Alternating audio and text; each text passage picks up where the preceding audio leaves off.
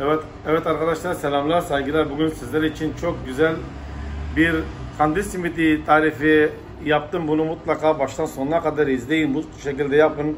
Çok güzel, muazzam bir şey olmuş. Kıtır kıtır. Hatta böyle tepsi salarken bile bir tanesi kırılmış görüyorsunuz. Ağızda eriyen bir simit. Afiyet olsun. Şimdi de görüşmek üzere. Hemen başlayalım tarifimize. Evet arkadaşlar merhabalar, selamlar, saygılar. Şimdi bugün sizler için kandil simiti yapacağız. Malzemeler burada. Hemen fazla uzatmayalım hemen başlayalım. Bismillah. Burada bir kilo unumuz var. Bir kilo un tarttım ve aynı zamanda bardakla da ölçtüm. Bu şekilde tezgaha döküyorum. Böyle bir şey açıyorum ortasını. Siz e, karavanda, tepside bir şeyde de o yorabilirsiniz ama bunu tezgahta daha iyi yorarsınız.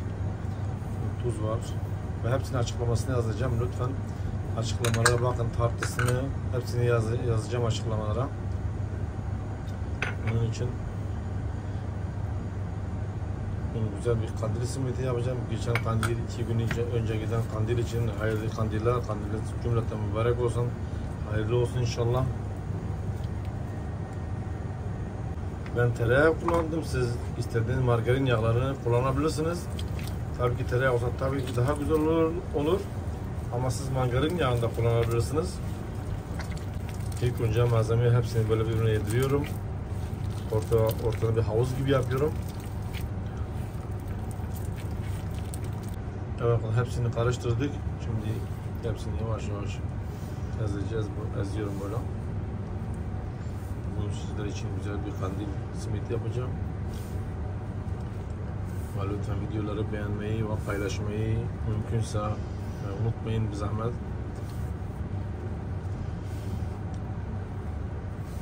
Evet 100 milim süt ekliyorum. 100 milim şöyle bir çay, bir çay bardağı. Çay bardağı 100 milimdir. Su bardağı 200 milimdir normalde. 200 gram yani. Güzelce bir toparlıyorum. Şimdi çok kolay, çok basit. En kolay simit bu. Kandil simidi dediğimiz. Evet hamuru toparlayınca kadar kendi yoruyorum böyle 5-6 dakika.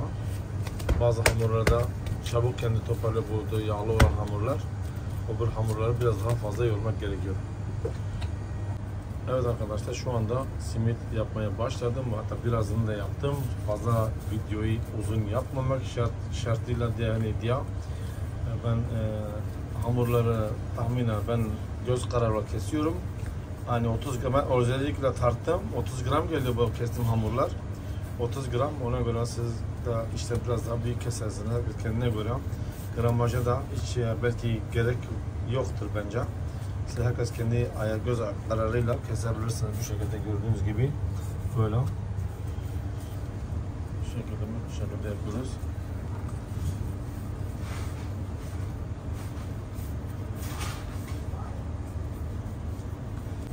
Hamuru böyle yuvarlıyoruz bu şekilde. Bu şekilde kesiyoruz bu şekilde. Böyle tezgahı aynı şekilde yine yuvarlıyoruz. Bu şekilde gördüğünüz bu şekilde çok kolay çok basit iki parmakla böyle arasından birbirine birleştiriyoruz bu şekilde. Evet, aynen. Evet. Efendim. Evet arkadaşlar şu anda susam hazır, hazırladım susamı. Burada da normal su var. Bildiğiniz gibi su. Suya koyuyoruz. Ondan sonra sudan çıkarıp susama koyuyoruz. Aynı normalde pekmeze koyduğumuz gibi tam tersine. Ama biz bunu suya koyuyoruz. Bu şekilde susama banıyoruz. Gördüğünüz gibi şekilde banıyorum. Bandırıyor bu şekilde. Diğer susam bu. Bu şekilde düzeltiyorum. Böyle tepsinin altına yağlı gaz serdim. Bu şekilde düzeltiyoruz.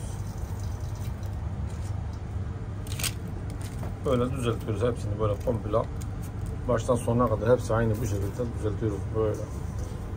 Bir daha gösteriyorum. Bu şekilde suya koyuyoruz. Normal su, normal bildiğin su. Çeşme suyu yani. Sıcak soğuk değil, normal su. Ondan sonra susamın içine atıyoruz. Susamın içinde biraz hafiften bunları düzelterek elimizle böyle iki tane parmağı ortasına alarak böyle bu şekilde bir parmağı bu şekilde çeviriyoruz böyle bu şekilde. Ondan sonra tekrar gösterdiğimiz gibi Böyle düzeltiyorum. Bugün benim kameram, bu, kamera, kameraman geldi benim bugün. Ona, onun için kamerayı çekiyorum böyle bir çekiyor arkadaş sağ olsun. Evet, evet arkadaşlar şu anda simitim hazır. Önceden kendimi gösteremedim, göstermedim kusura bakmayın çünkü etraf çok dağınık mutfak burası.